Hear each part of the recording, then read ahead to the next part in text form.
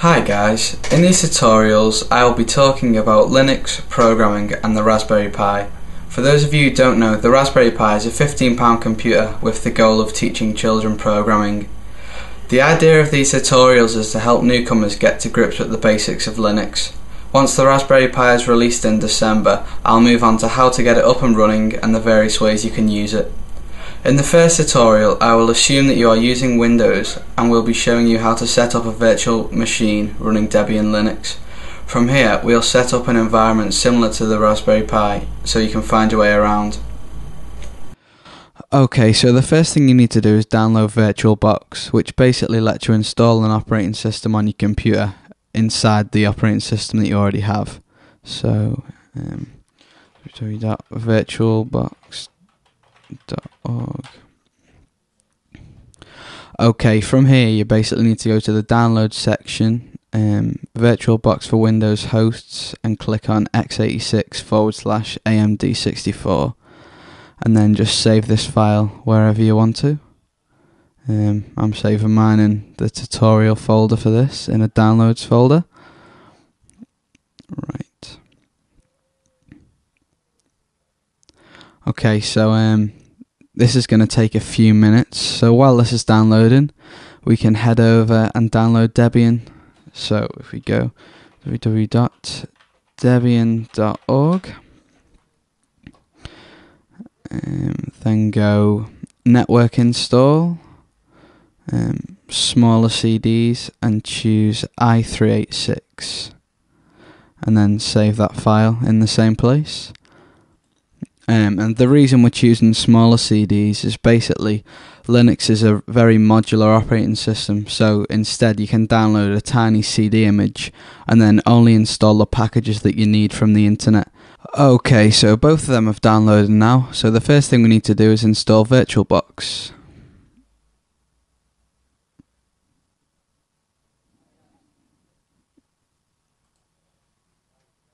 Um, I would just leave this all as it is, just the defaults. shortcut on the desktop. Next. Yes. Okay, so what this is saying is, um, basically, it installs an extra network adapter because it um, your virtual machines need to be able to connect to the internet, or in this case, it does anyway. So proceed with installation now. Yes install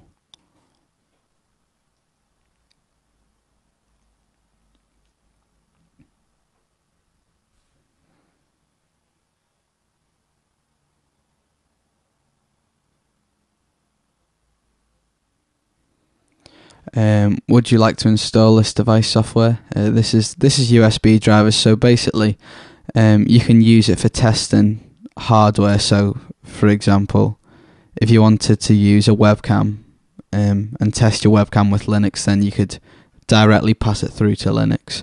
And then this is your network drivers as well.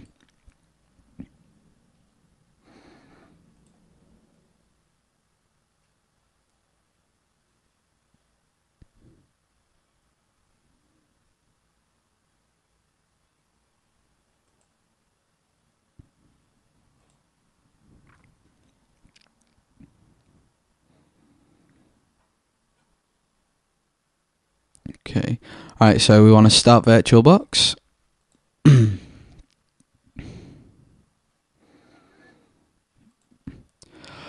right then. So um, we want to go new virtual machine, and then let's call it Raspberry Pi. Pi. Operating system. Choose Linux, and then Debian. Okay, then click next. Uh, RAM, I'm going to give mine 256 mega RAM because I want the Model B Raspberry Pi. And then create a new hard disk. Um, 8 gig will be fine. Right. Uh, VirtualBox disk image is fine. Dynamically allocated. Yeah, you want to pick this because if you choose fixed size, then um, the virtual hard drive will always take up 8 gig, even though that space isn't needed. Um, yep, so let's Where are you going to save this? Yeah, that can be saved in there. So this is um made a new folder called VirtualBox VMs in my documents, and then a new folder called Raspberry Pi, and the hard drive will be called Raspberry Pi.vdi. And then create. Yep. Okay, so now we've created our virtual machine, we need to load up the Debian CD. So double click on storage and then go to the CD drive where it says empty and click on this icon here um, and then go choose a virtual CD forward slash DVD disk file and choose the Debian image that you saved um, where the VirtualBox install was before. Okay, right and then we can go ahead and run our virtual machine. Um, right, okay. Um, all this is saying is that when you click inside the virtual machine, that um, any keys you press on your keyboard will go straight to the virtual machine until you press right control. So where it says the host key is currently defined as right control, when you press that, then you can use your keyboard to control the normal operating system again. Right. Okay. Yeah, that's fine. Okay, so we've got the Debian installer. Um, yeah, right. That's fine. Okay, so then we'll go install. I'll just um, close these messages off.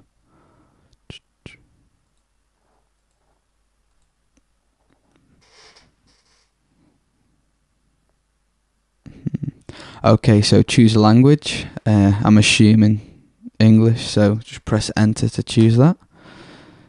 Um, use the arrows to navigate the menu and um, click United Kingdom by pressing enter. British English.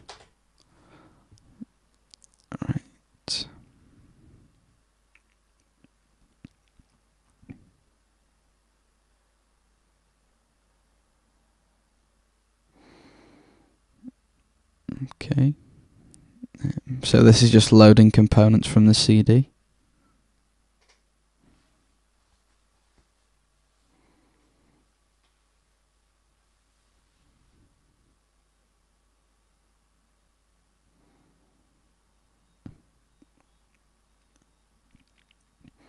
and then detecting the network hardware. And there we go. It's um, your virtual machine is on the network. So uh, please enter a host name. So let's say Raspberry Pi. Oh, spell that wrong. Raspberry Pi. Um. Okay, then enter. Domain name. I'm just gonna put home.org. This is this isn't really important.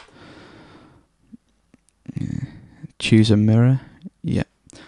Um, so this is just asking where it where it should get the packages from. So United Kingdom's the closest for me.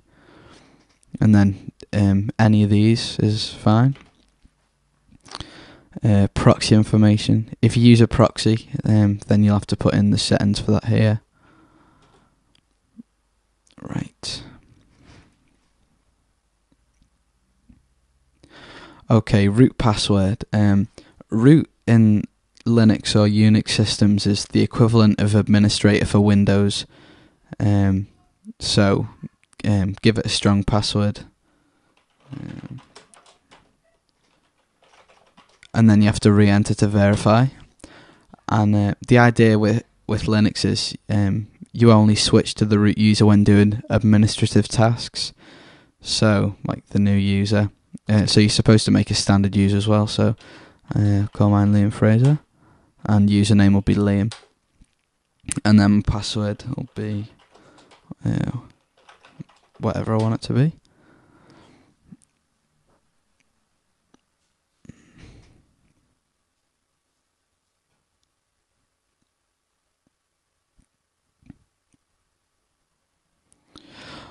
Okay, um, partitioning. Um, it's easier for now if we just choose use entire disk and then the installer will set that up automatically. Just press enter on this. Um, all files in one partition recommended for new users, that's fine.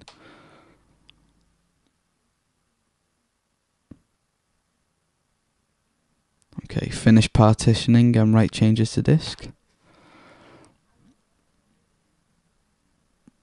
Yeah.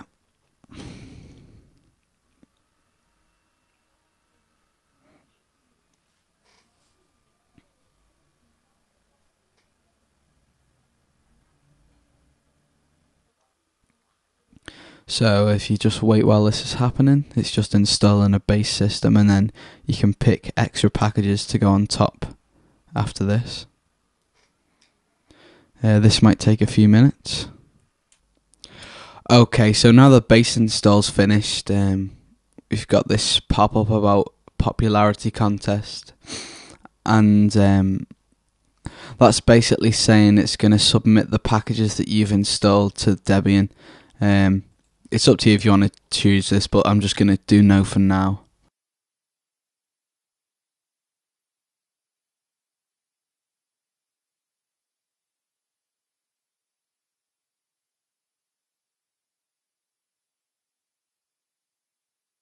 Okay, so as this says, at the moment only the core of the system is installed.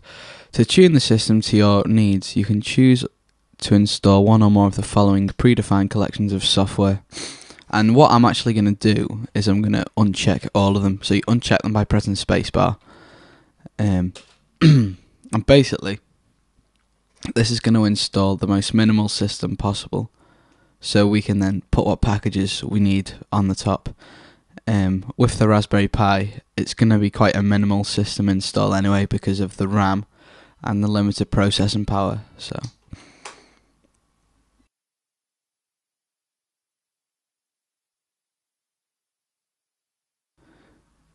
Okay, this basically um, Grub is a bootloader, so it's the first thing that loads up when you turn the computer on, or in this case, the virtual machine, and it lets you choose what operating system you want, and um, you just click yes to this. It's basically checking that if you had any other operating systems installed, that you're um, not going to overwrite anything.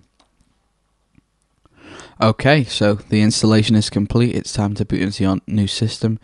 Make sure to remove media. Okay. so the CD drive is now empty again. So it must have been ejected automatically. Um, so then you can click continue.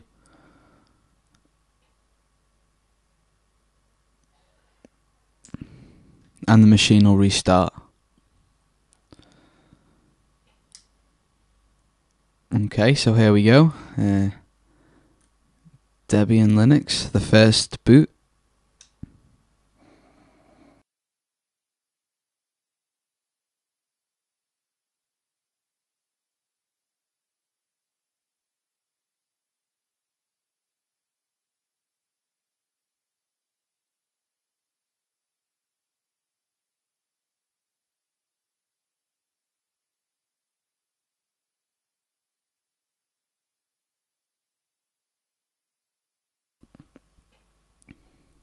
Um, this is going to look a lot different to Windows if that's what you usually use, and um, it's just something that you have to get used to. It seems a bit daunting at the at the start, but once you get used to it, it's fine. It's a uh, a lot more efficient than Windows as well in some cases. So, login screen. Um, I'm going to log in as Liam, the user I made before and then type my password in. Um, for security reasons on Linux, the um, pass like the password characters don't actually show up. So even though I've typed my password in, nothing appears. And then if you press enter, there we go.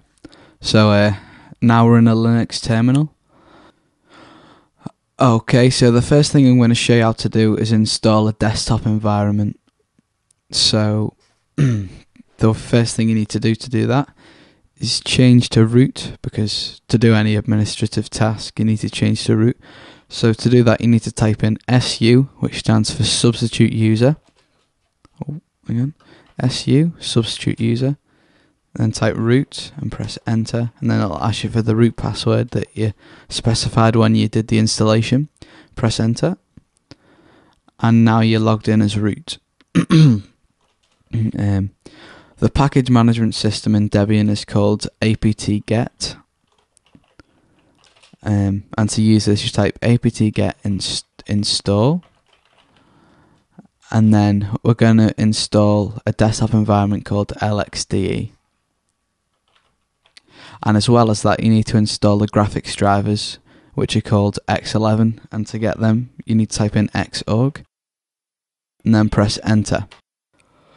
So after that's installed, the next thing to do is install the X server drivers um, by going apt-get install X server hyphen xorg hyphen video hyphen all and then pressing enter.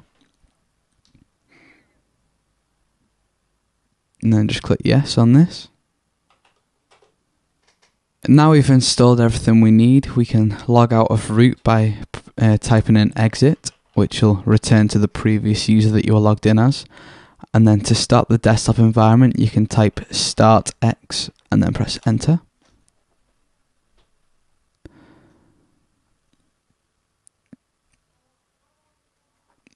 And then if you just wait a second, there you have it. We've got LXDE.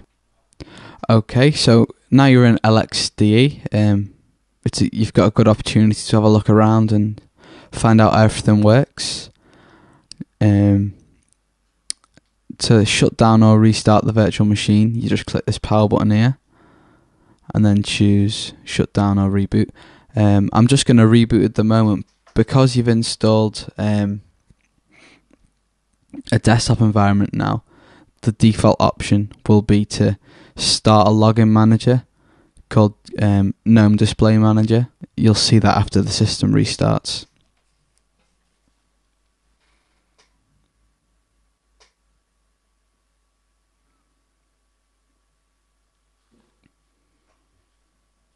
Um, while the system's loading, I'd just like to take the opportunity to say thanks for watching this tutorial. And if you found it helpful, um, please subscribe and let me know in the comments what you think the next next tutorial should be on. Okay, so as you can see here, it says starting GNOME Display Manager. And then, um, here you have it, when it loads. Yep, there you go. So, I would type in Liam, and type in my password, press enter,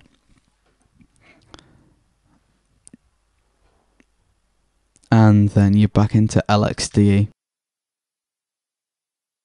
I'll try and get the next tutorial up for next week so that it's like a weekly series.